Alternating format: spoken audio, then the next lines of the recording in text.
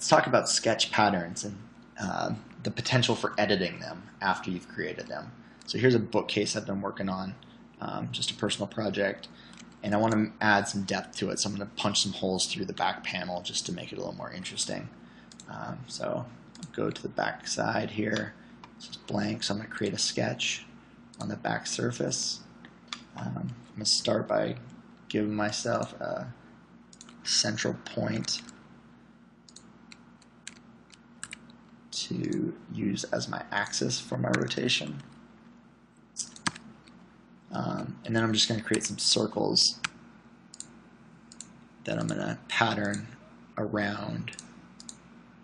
Just do these four.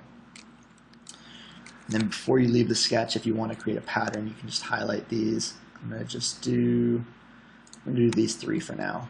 And then you go back up to sketch. I'm going to do a circular pattern. Uh, my center point is going to be this guy. Let's bump this on up. Mm, let's do let's do 15.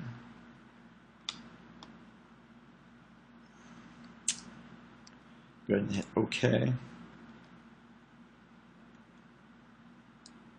don't like that one being.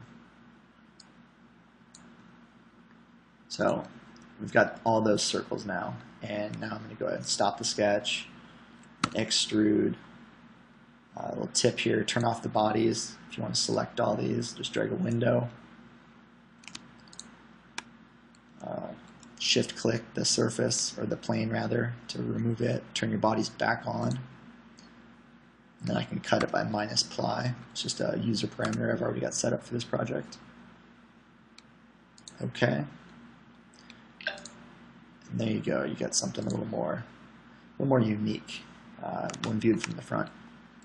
So uh, that's cool. But let's say my wife wants it a little different. She wants a square in there also. So I'm going to go back to that sketch.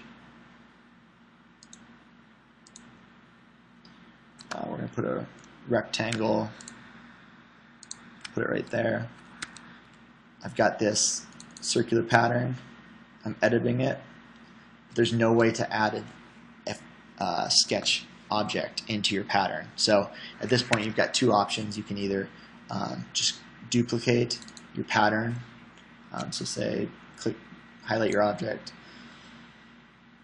uh, go to sketch, circular pattern, center point. I did 15 before, so same center point, same number. There you go. And then once I stop my sketch, I can hide and show it and add it.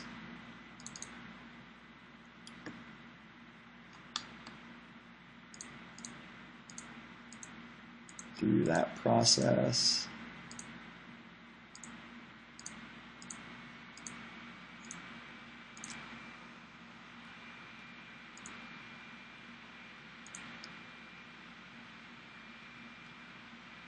Turn that sketch off. Um, so that's that's one way you can do it. But again, you just you can't edit a sketch pattern.